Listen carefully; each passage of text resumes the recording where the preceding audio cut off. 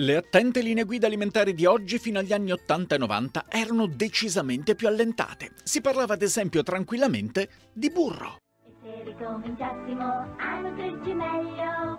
Burro, ricco di sapore. E formaggio ricco di energia. Latte, yogurt, burro e formaggio, ricchi di. Che poi non è un peccato parlare di burro, è una cosa che si può fare. Quanto adoravo peraltro questa pubblicità, la canzoncina la ricordo ancora, anche se il burro negli anni 80 in tv era soprattutto quello della Giglio. Signora, Dice a me? lei usa burro giglio? Altro che?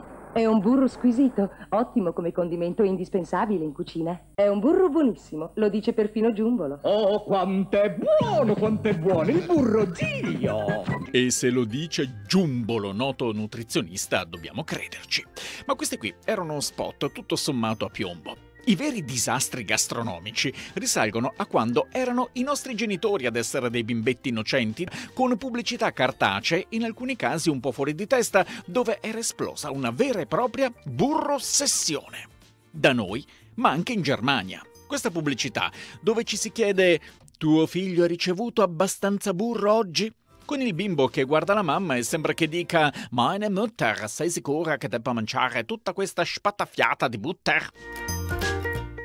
Ma io vorrei soffermarmi soprattutto su due pubblicità che hanno regalato cose strampalate o teorie direttamente prive di qualsiasi fondamento, tipo questa. Il burro è buono e ti fa bene, ma il problema non è il burro è buono e ti fa bene, ma la parte cerchiata. Io, ecco, non sono scienziato, non sono Barbascura X. Uh, capitano, ci avviciniamo al milione, bravo.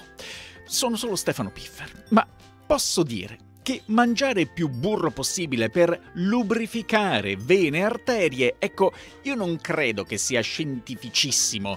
Che poi anche l'olio è scivoloso, e allora perché anche non sgargarozzati un litro d'olio e le tue vene scivoleranno fino al Campidoglio?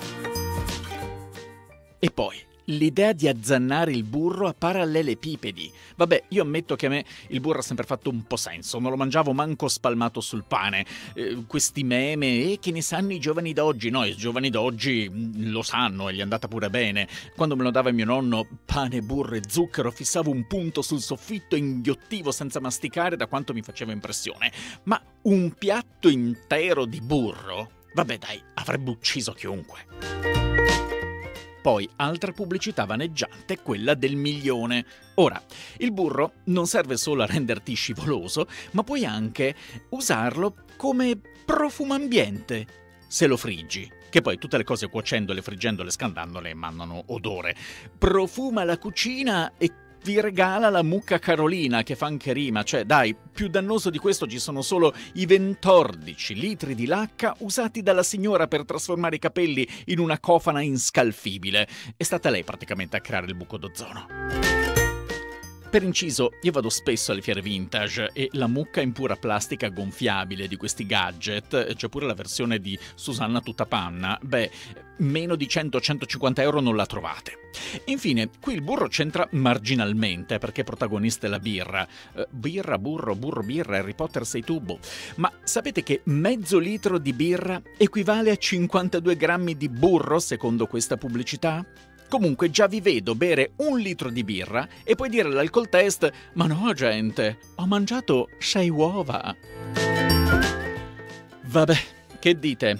Altri video su pubblicità vaneggianti degli anni che furono? Commentate festose e festanti e fatemi sapere se è meglio finirla qua e continuare con gli anni Ottanta oppure se andare ancora un po' più indietro e scoprire le nefandezze di un tempo.